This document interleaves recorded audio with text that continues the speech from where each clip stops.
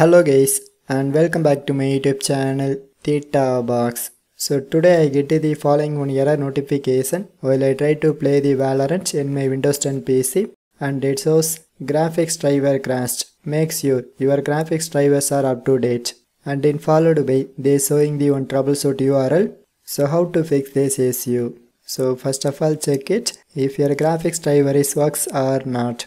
So by simply open the device manager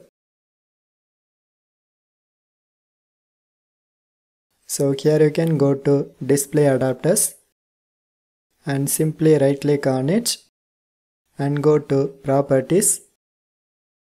And here my Intel HD graphics 630 is working very smoothly. So no problem. So next you can select driver category. And then I try to update my graphics driver. So simply follow me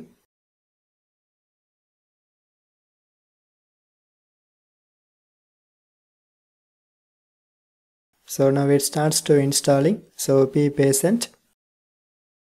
So finally it shows Windows has successfully updated your drivers. So just close all the windows. So next you can open your Windows run and then execute this command percentage local app data percentage. So here you can locate that Valorant folder and click to open it and also click to open the saved folder. And it shows some sub folders. So first I try to access config folder and the first one.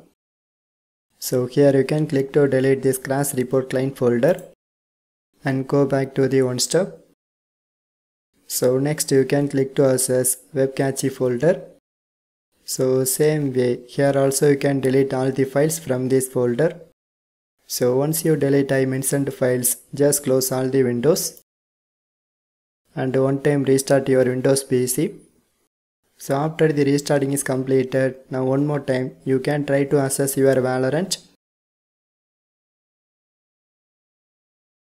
So I hope now this time it does not show that crashing issue. So if maybe again it shows that same message, just comment to me because I give some more ideas to fix this issue. So otherwise just leave a one like. So for more tech videos you can subscribe my beautiful tech channel Theta Box and thanks for watching.